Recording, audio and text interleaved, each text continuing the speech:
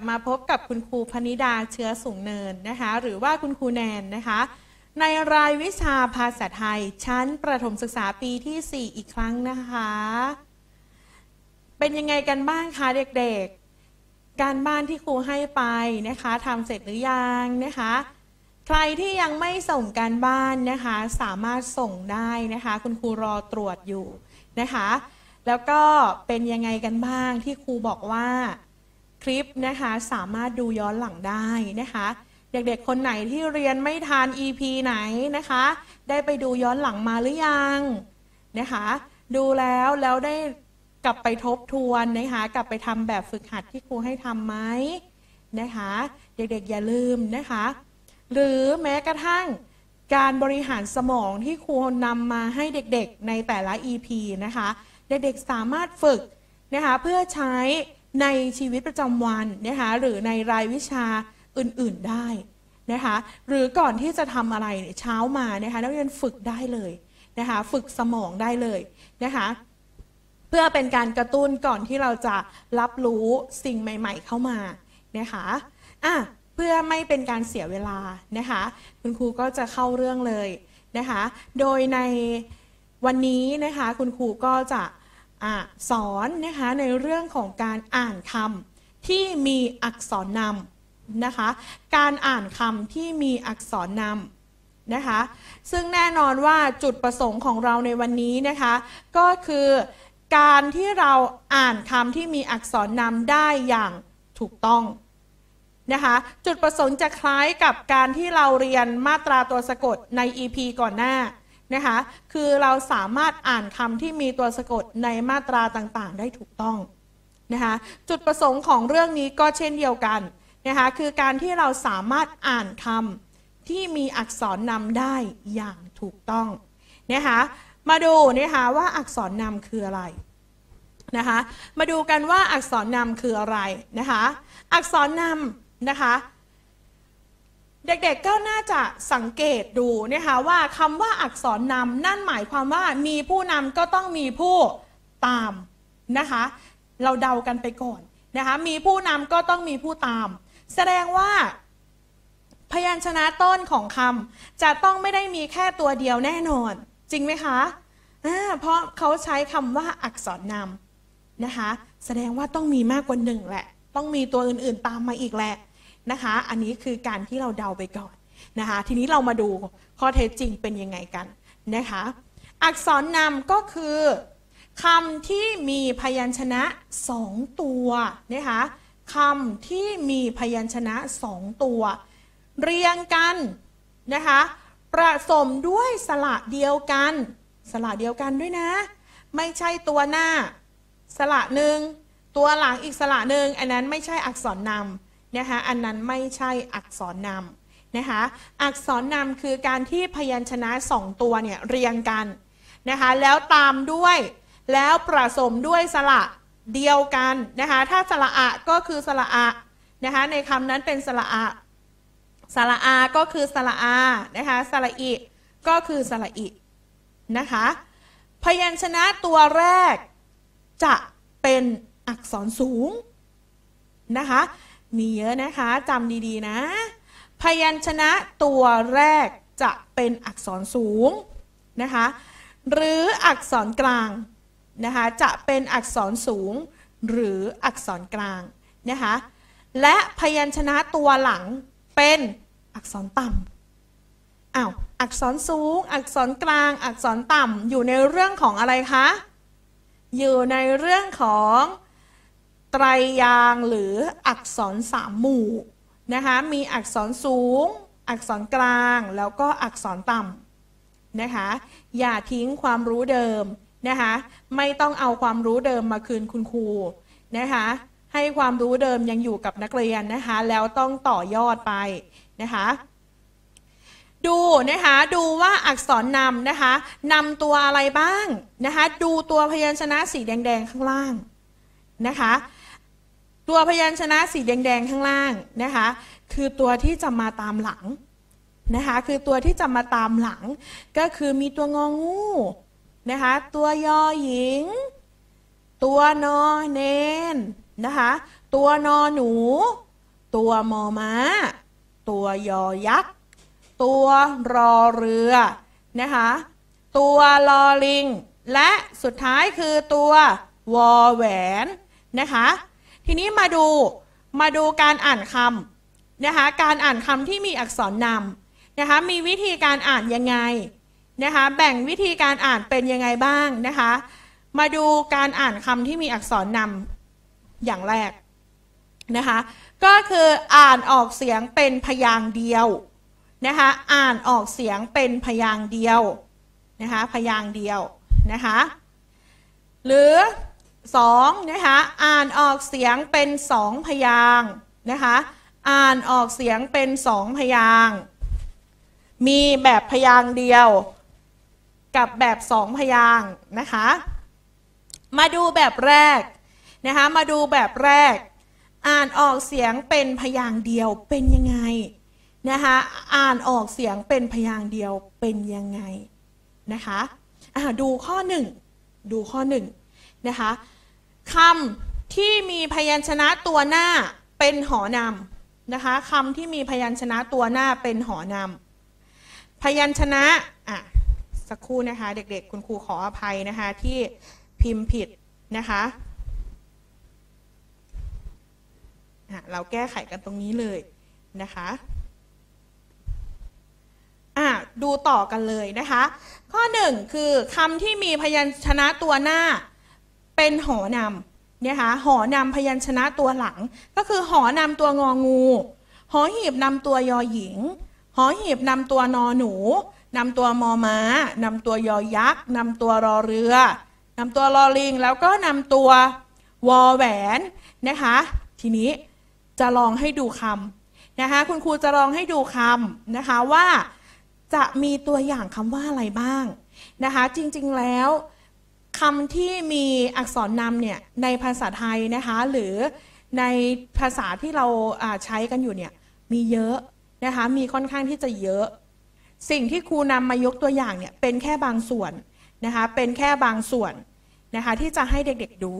นะคะมาดูคำแรกกันเลยนะคะคำแรกคำว่าคำว่าอะไรคะเด็กๆ ลองอ่านคำนี้พร้อมกันสิคะคำแรกคำว่าหญ้า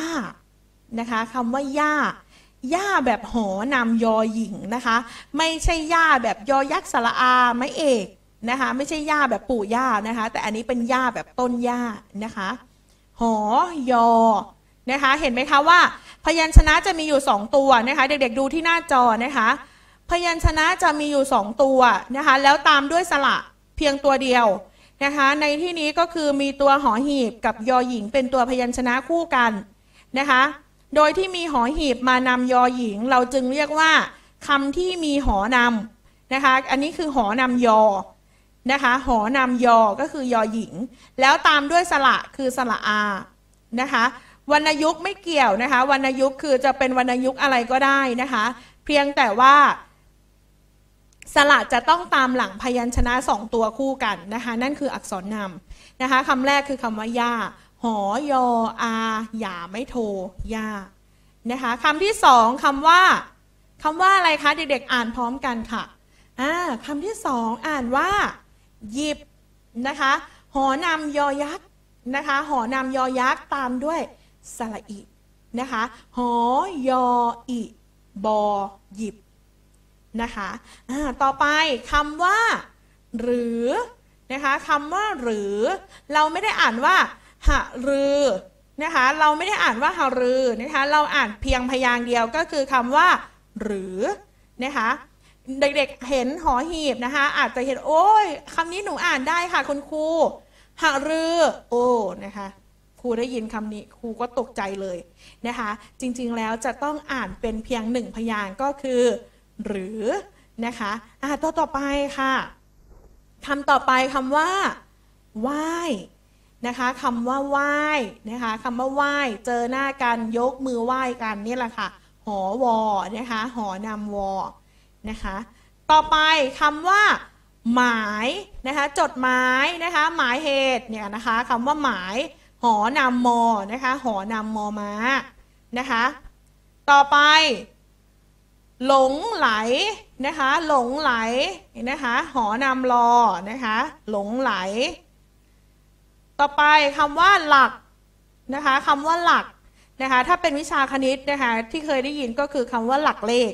นะคะที่เด็กๆจะได้ยินผ่านมาก็คือคำว่าหลักเลขนั่นเองนะคะในวิชาคณิตนะอะคำว่าหลักนะคะต่อไปคำว่าหลีกนะคะคำว่าหลีกนะคะหอนำรอลิงเหมือนกันนะคะหอนำรอลิงเหมือนกันคำว่า หนักหนานะคะคำว่าหนักหนา คำว่าหนักหนานะคะ หอนำหอนำนอทั้งคู่เลยนะคะคำว่า หงายหลังนะคะคำว่า หงายหลังนะคะ ต่อไปคำว่า ใหญ่นะคะคำว่าใหญ่ ใหญ่นะคะ ใหญ่กับเล็กที่ตรงข้ามกันนะคะคำว่าใหญ่นะคะ และคำว่า หมูนะคะ หมูหมาได้หมดเลยนะคะ หอนำนะคะเขาเรียกว่าหอนำที่ออกเสียงพยางค์เดียวนะคะ หอนำที่ออกเสียงพยางค์เดียวนะคะอะต่อไปเมื่อออกเสียงพยางค์เดียวแล้วนะคะ อันนี้คือพยางค์เดียวแบบหอนำใช่ไหมคะอันนี้คือออกเสียงพยางค์เดียวเหมือนกันนะคะ แต่พยัญชนะที่เป็นอักษรนำจะไม่ใช่หอนำแต่เป็นออ่างมานำยอยักษ์นะคะ อนำยอ นะคะอนำยอ นะคะอนำยอ ซึ่งในภาษาไทยเราเนี่ย เด็กๆจะสังเกตว่าคำในภาษาไทยเราเนี่ยมีใช้เป็นจำนวนมาก มากมายมหาศาลเลยแหละนะคะ แต่เด็กๆรู้ไหมคะว่า เด็กๆทราบไหมคะว่าคำที่มีอนำยอในภาษาไทย มีเพียงแค่ 4 ตัวเท่านั้นอ่า มาถึงตรงนี้เด็กๆ ตกใจตาโตเลย ใช่หรอคุณแนน คุณแนนพูดผิดหรือเปล่า ไม่ผิดนะคะคำที่เป็นออ่างนำยอยักษ์เนี่ยมีเพียงแค่ 4คำเท่านั้นในภาษาไทยนะคะ ก็คือคำว่า อย่าคำแรกคือคำว่า อย่าอยอายาไม่เอกอย่านะคะคำที่สองคือคำว่า อยู่ นะคะคำที่สองคือคำว่าอยู่นะคะอ่าคำว่าอยู่นะคะคำที่สามคำว่าอย่างนะคะตัวอย่างนั่นเองนะคะคำว่าอย่างนะคะและคำว่าอยากนะคะอยากได้นะคะอยากมีนะคะคำว่าอยากนะคะก็คือคำว่าต้องการนั่นเองนะคะอยาอยู่อย่างอยากนะคะนี่คือสี่คำ ที่เป็นอนำยอดนะคะเด็กๆทราบไว้เลยนะคะรู้ไว้เลยว่ามีเพียงแค่สี่คำเท่านั้นนะคะต่อไปอ่านแบบหนึ่งพยางจบไปนะคะต่อไปอ่านออกเสียงเป็นสองพยางค์นะคะอ่านออกเสียงเป็นสองพยางค์นะคะคือพยัญชนะตัวหน้านะคะตัวหน้าออกเสียงอะกึ่งเสียงอ่ามาตรงคำที่เป็น keyword ของเราในวันนี้ก็คืออะกึ่งเสียงนี่แหละ นี่แหละ คุณแนนจะทดสอบแล้ว ว่าที่คุณแนนสอนไปเนี่ยเด็กๆยังจำได้ไหมอะกึ่งเสียงมาปรากฏในเรื่องนี้อีกแล้วนะคะคำว่าอะกึ่งเสียงกับอะเต็มเสียงเนี่ยครูแนนเคยสอนไปในเรื่องอะไรคะเรื่องอะไรเนาะเด็กๆจำได้ไหมนะคะเรื่องอะไร เรื่องของคำประ วิสัญชนี และคำที่ไม่ประวิสัญชนีนั่นเองนะคะ โดยการออกเสียงอะกึ่งเสียงนั้น อยู่ในคำที่ไม่ประวิสัญชนีนะคะ อย่าลืมนะคะเด็กๆอย่าลืมคุณครูบอกแล้ว ความรู้ที่คุณครูสอนมานำมาใช้ให้หมดนะคะ มันจะต่อเนื่องเกี่ยวเนื่องกันไปเรื่อยๆนะคะ มาดูต่อนะคะ พยัญชนะตัวหลัง นะคะออกเสียงตามสระและตัวสะกดที่ปรากฏอยู่นะคะแล้วก็ออกเสียงวรรณยุกต์ตามเสียงพยัญชนะตัวหน้า คล้ายๆกับว่ามีตัวหอหีบนำอะพูดแบบนี้ถ้าให้พูดแบบนี้เด็ก ๆ ไม่เห็นภาพ แต่ถ้ามีตัวอย่างคำเด็ก ๆ จะนึกออกงั้นมาดูคำกันนะคะคำแรกคือคำว่าเด็กๆอ่านคำนี้พร้อม ๆกันค่ะคำแรกคือคำว่า เสมือนคำว่า เสมือน อ่านว่าเสมือนนะคะ เห็นไหมคะว่าสอเสือจะออกเสียงอะกึ่งเสียงก็คือเสมือนนะคะ คุณครูจะไปเน้นคำหลังคำว่าเหมือนนะคะครูจะไม่เน้นว่าสะเหมือน คุณครูจะไม่เน้นแบบนี้นะคะ คุณครูจะเน้นว่าเสมือนนะคะ จะไปเน้นคำว่าเหมือน ซึ่งคำว่าเหมือนนะคะไม่ได้เขียนแบบมีหอหีบอยู่ในคำนั้นนะคะ ไม่มีหอหีบอยู่ในคำนั้นด้วย แต่ให้เราทราบว่าเวลาที่เราอ่าน ให้เราทราบว่าคำนี้คือคำที่อยู่ในเรื่องของอักษรนำเวลาอ่านจำเป็นที่จะต้องมีหอหีบมานำอยู่เสมอนะคะคำนี้จึงอ่านว่า สะเหมือนนะคะ ต่อไปคำว่า ตลับนะคะ ตลับคือมีหอหีบมานำคำว่าคำว่ารับ นะคะเมื่อมีหอหีบจึงอ่านว่าหอโลอะบอลับนะคะไม่ใช่ตลับนะคะไม่มีคำว่าตลับนะคะมีแต่คำว่าตลับนะคะคำว่าขยับนะคะขยับขยับก็ไม่มีนะคะคำว่าขยับก็ไม่มีนะคะมีแต่คำว่าขยับนะคะหอยออะบอยับนะคะอย่าลืมนำหอหีบไปนำด้วยเวลาที่อ่านนะคะอ่าต่อไปคำว่า ฉลอง นะคะฉลอง ไม่ได้อ่านว่าฉลองนะคะไม่ได้อ่านว่าฉลอง แต่อ่านว่าฉลองนะคะคำว่าฝรั่งนะคะฝรั่งนะคะก็มีหอหีบไปนำรอเรือนะคะฝรั่งนะคะคำว่าอร่อยนะคะอร่อยนะคะก็มีหอหีบมานำนะคะไม่ได้อ่านว่าอ่าอร่อยนะคะอ่านว่าอร่อยนะคะคำว่าถล่ม นะคะคำว่าถล่มนะคะและคำว่าเสมอนะคะและคำว่าเสมอ จริงๆ แล้วมีอีกเยอะแยะเลยนะคะจริงๆ แล้วมีอีกเยอะแยะเลย ที่เป็นคำที่มีอักษรนำแล้วอ่านออกเสียงสองพยางค์นะคะเพียงแต่ว่าวันนี้คุณครูแนนได้ยกตัวอย่างให้ดูนะคะให้ให้เด็กๆเห็นภาพนะคะอันนี้คือยกตัวอย่างให้เด็กๆเห็นภาพแล้วก็เข้าใจได้ง่ายขึ้นนะคะแล้วนะคะ แน่นอนว่าเมื่อเรียนไปแล้วก็ย่อมต้องมีกิจกรรมให้ทำเพื่อเป็นการทดสอบความรู้นะคะเพื่อเป็นการทดสอบความรู้ที่เรียนมานะคะที่เรียนมา กิจกรรมก็คือนะคะให้เด็กๆเนี่ยนะคะหาคำที่มีอักษรนำในบทร้อยกลองที่ครูนำมาให้ต่อไปนี้นะคะเอ๊ะอะไร งองูอะไรหอหีบเยอะแยะไปหมดเลยนะคะ เดี๋ยวคุณครูจะลองอ่านให้ฟังหนึ่งครั้งนะคะ แต่คุณครูไม่บอกนะว่าคำไหนเป็นอักษรนำสิ่งที่เป็นหน้าที่ของเด็กๆนะคะ ที่จะต้องบอกคุณครูนะคะว่าคำไหนเป็นอักษรนำแต่คุณครูจะอ่านให้ฟังก่อนนะคะ คุณครูจะอ่านให้ฟังก่อนนะคะ กลัวหงอ เหงาหงอย นอนหงาย งอหงิก ฟันหลอ ผมหยิก หลบหลีก หมูหมา จดหมายผู้หญิง เย่อหยิ่ง นักหนาอะเย่อหยิ่ง นักหนา ผ้าไหม หรูหรา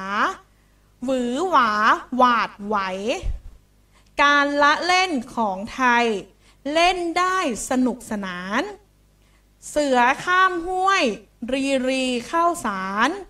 ตายายดูหลานเล่นแม่งูเอ้ยนะคะ อันนี้เป็นบทร้อยกลองนะคะ เด็กๆนะคะะคุณครูขอชี้แจงกิจกรรมที่เราจะต้องทำนะคะ คุณครูขอชี้แจงกิจกรรมที่เราจะต้องทำนะคะ ให้เด็กๆนะคะ เขียนบทร้อยกลองนี้ลงในสมุดนะคะ เขียนบทร้อยกลองที่ครูนำมานะคะ ลงในสมุดนะคะ แล้วให้เด็กๆ ขียนด้านล่างว่าคำที่มีอักษรนำนะคะ เด็กๆเจอคำไหนนำมาเขียนหนึ่งคำว่าอะไรสองคำว่าอะไรที่เป็นอักษรนำทั้งอักษรนำที่ออกเสียงหนึ่งพยางและสองพยางเลยนะคะ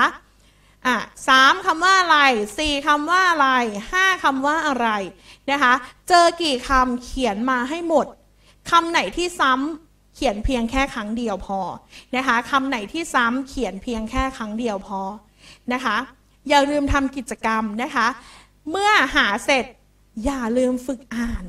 นะคะ อย่าลืมฝึกอ่าน